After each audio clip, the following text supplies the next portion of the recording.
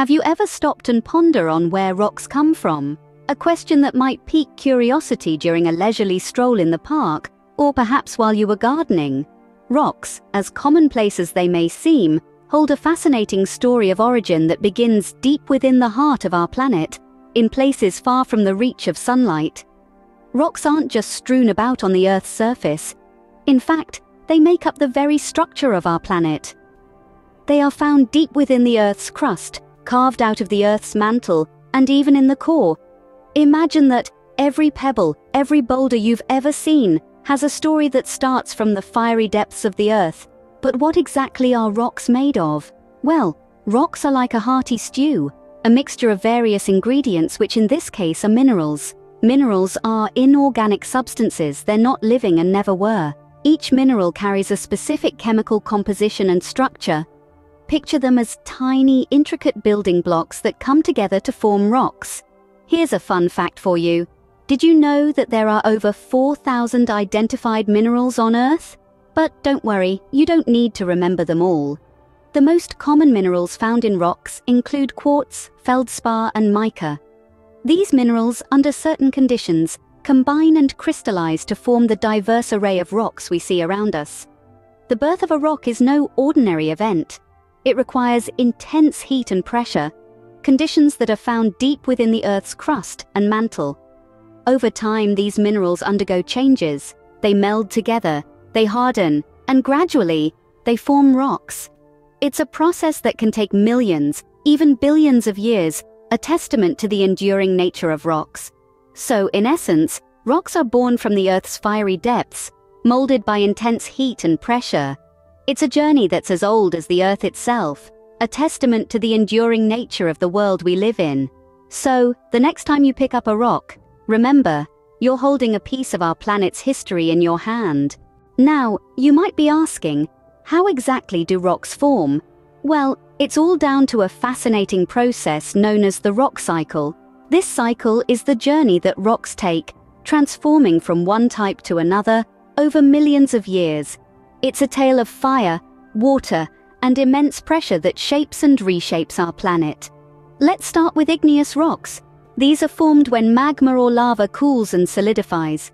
Imagine a volcano erupting, spewing out hot, molten rock. As this lava cools down, it hardens into igneous rock. Granite and basalt are prime examples of this type. Next up, we have sedimentary rocks. These are formed from the accumulation of small pieces of other rocks, plant matter, or animal remains. Picture a river carrying tiny pieces of rock downstream.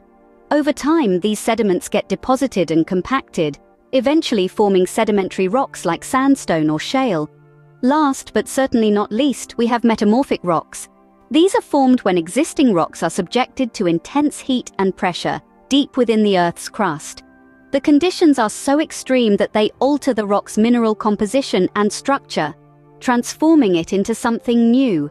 That's how rocks like marble and slate come into being. But here's the thing, these processes aren't isolated. They're all interconnected, forming a continuous cycle. For instance, igneous rocks can erode over time, turning into sediments that later become sedimentary rocks. These sedimentary rocks can be buried deep within the earth, subjected to heat and pressure, and transformed into metamorphic rocks.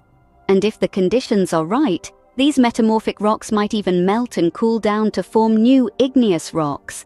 It's a never-ending dance of transformation. So the rock cycle is a continuous dynamic process that shapes and reshapes our planet. It's a testament to the Earth's ever-changing nature, reminding us that even the ground beneath our feet has a story to tell. Now, let's delve into the different types of rocks. First off, we have igneous rocks.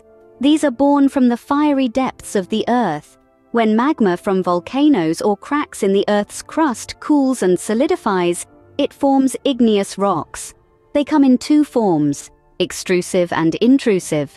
Extrusive igneous rocks like basalt form when magma cools quickly on the Earth's surface, resulting in tiny crystals.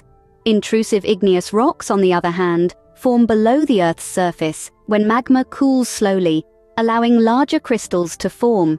Granite is a classic example of an intrusive igneous rock.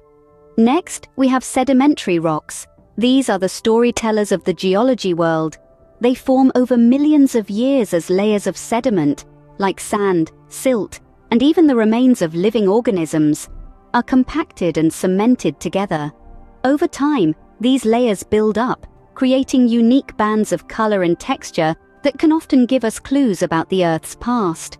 Limestone and sandstone are examples of sedimentary rocks. Last, but certainly not least, we have metamorphic rocks. These are the transformers of the rock world. They start as either igneous or sedimentary rocks, but then they undergo a metamorphosis. Under the influence of extreme heat and pressure, their structure changes, often leading to new minerals and crystals forming. The result? A completely new rock, marble, which starts off as limestone, and slate, which begins life as clay, are examples of metamorphic rocks. Each of these rock types has its own unique journey and tells us a different part of the Earth's story. From the fiery birth of igneous rocks, through the slow layering of sedimentary rocks, to the intense transformation of metamorphic rocks, each type gives us a glimpse into the dynamic and ever-changing nature of our planet. Understanding these three types of rocks gives us a glimpse into the Earth's geological history. So, what are some of the most common rocks we encounter in our daily lives? Let's start with granite, a rock that's as hardy as they come. It's an igneous rock, which means it was once a hot molten material deep within the Earth. Over millions of years, this material cooled down and solidified, resulting in a rock that's chock full of crystals. Granite is usually a mix of white, pink or grey, and it's speckled with dark grains that give it a distinct sparkly appearance. You'll find it in abundance in continental crust, and it's often used in construction because of its durability and aesthetic appeal. Next up is limestone, a sedimentary rock that's made up primarily of tiny marine fossils, calcium carbonate, and the shells and skeletons of sea creatures.